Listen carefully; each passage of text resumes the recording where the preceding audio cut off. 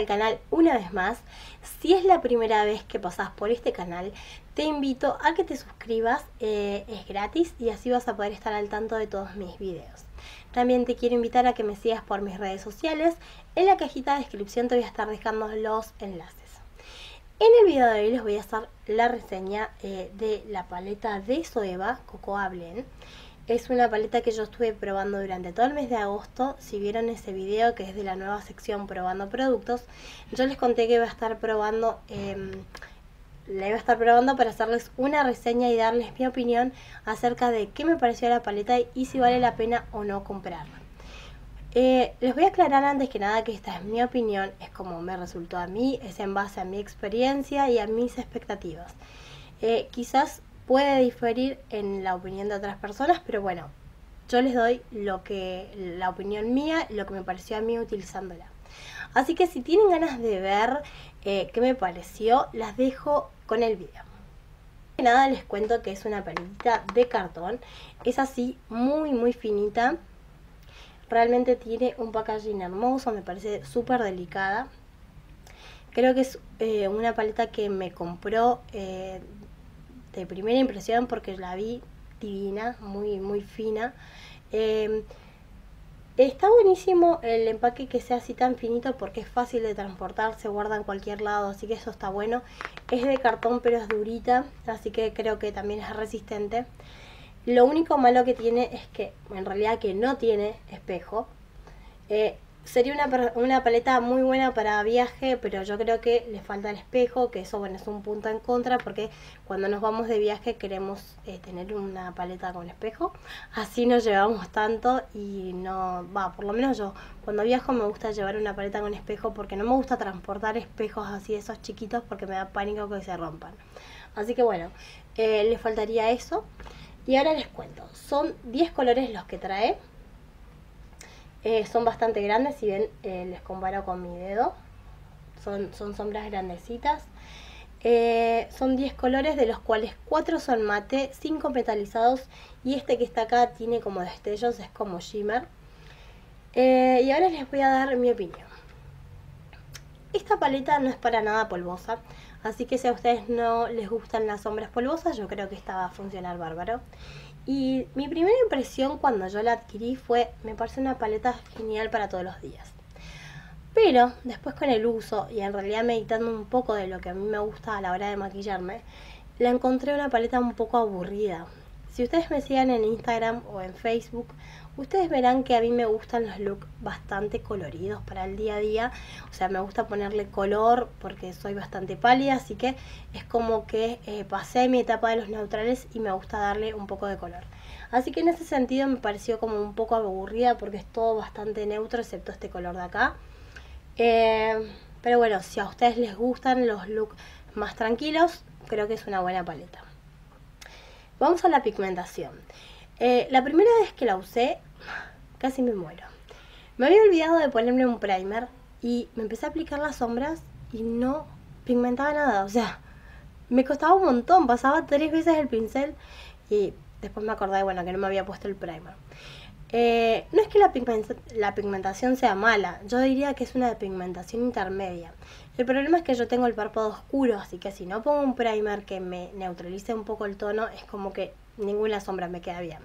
Si tenés el mismo problema, ten en cuenta esto antes de comprar esta paleta. Eh, otra cosa que por ahí lo tomo como un poco en contra es que las sombras se difuminan de más. O sea, uno aplica el color y se aplica bien, pero después cuando empieza a difuminar es como que se va demasiado, entonces hay que reaplicar. Esto no va en la pigmentación, sino creo que es en la calidad. Es como una sombra bastante eh, finita, entonces difumina como de más. Eh, ustedes van a pensar, esta chica está loca porque está buenísimo que las sombras se difuminen fáciles. Eh, en mi opinión, eh, está bueno que se difuminen fácil, pero no tanto, porque es como que cuesta mucho, hay que pasar una y otra vez para dejar el color que uno desea. Yo diría que son colores que hay que ir construyendo. Como les dije la primera vez que la usé, no pigmentó tan bien, pero a medida que pasaban los días y la seguía usando, iba pigmentando mejor. Así que yo supongo que es como que tienen que romperle como la primera capa, eh, no romper, es una forma de decir, obviamente no iban a romper sombras, pero es como que romper esa barrera que tiene la primera capa.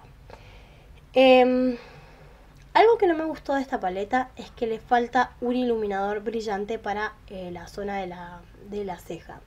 Si bien tiene este color que es como vainilla, es vainilla mate. A mí me gusta iluminar el arco de la ceja con un tono más metalizado. Eso es gusto personal. Y creo que eso le faltó a esta paleta. No es eh, algo, un condicionante para adquirirla, porque lo que yo hacía era mezclarla con un poquito de este y bueno, así iluminaba eh, a mi gusto. Pero creo que eso le faltó. Al ser una paleta tan, tan chatita y tan chiquita, sería ideal para transportarla, para llevarla cuando viajemos. Pero en mi caso, como a mí me gusta iluminar con algo brillante, creo que tendría que tomar como una sombra extra y ya deja de ser tan práctica para llevármela. Otra cosa que no me gustó para nada es que vienen tres colores dorados este, este y este. O sea, en una paleta de 10 colores que traiga 3 dorados es como mucho.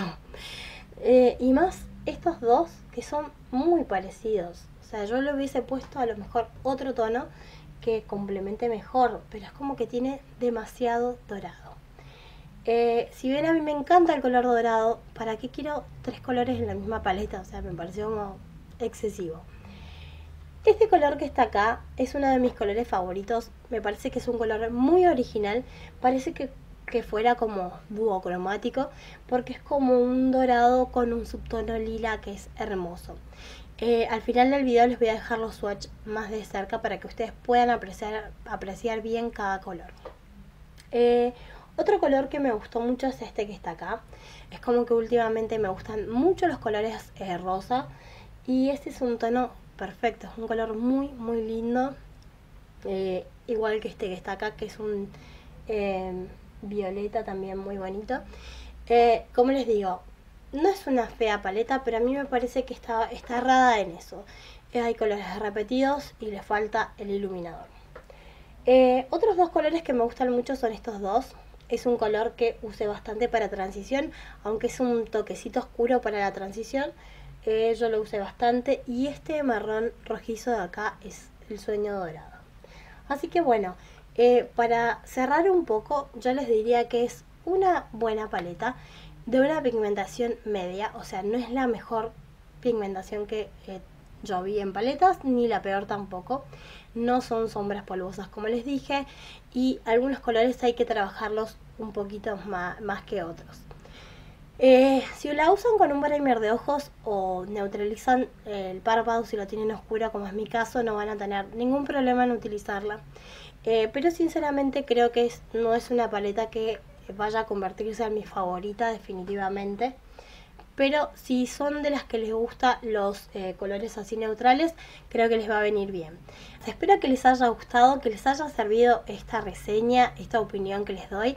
Eh, les voy a repetir una vez más que es mi opinión personal, no significa que ustedes eh, tengan que coincidir o que les haya ido igual que a mí, quizás es una paleta que les encanta si ya la probaron. No les dije el precio. Me salió eh, mil pesos. Eso creo que también es en contra porque por mil pesos he comprado paletas que me gustan mucho más. Así que bueno, como era Soeva y yo probé las brochas y me enamoré de las brochas Soeva, me esperaba que la paleta fuera un golazo, pero bueno, no fue así.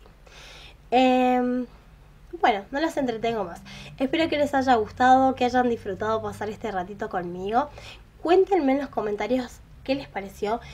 Y les voy a dejar en la cajita de información el link al maquillaje que hice utilizando estas sombras, así ustedes las pueden ver en acción. Les mando un beso enorme, muchas gracias por haberse quedado hasta el final y nos vemos en la próxima. Chao, chao.